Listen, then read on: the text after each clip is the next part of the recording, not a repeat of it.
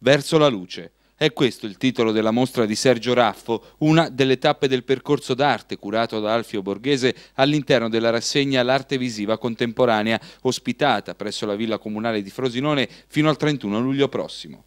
Il titolo della mostra è emblematico, così come sono emblematiche le sue opere, alla ricerca della luce che genera l'universo e a cui l'uomo tende, come la ricerca della speranza. Io tendo a rapportarmi anche a quello che è il presente, per cui luce, tenebra, il presente ovviamente non facilissimo, ma c'è sempre una spiraglio di luce che dovrebbe, almeno ce la auguriamo tutti quanti, illuminare un po' il nostro cammino, il nostro futuro. Insomma, è un po' la ricerca della luce, della speranza. Se noi tutti riuscissimo a pensare al, al nostro presente un po' come una fiaba sarebbe decisamente meglio, è un po' questo quello che intendo esprimere dipingendo, per cui nella sostanza e nella realtà è un po' la ricerca di noi stessi bambini, perciò puri, puliti.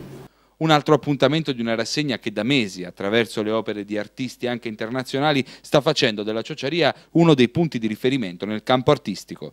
Abbiamo con Sergio Raffo raggiunto i tre quarti di questo percorso e l'opera di Sergio è molto particolare perché parla proprio della luce.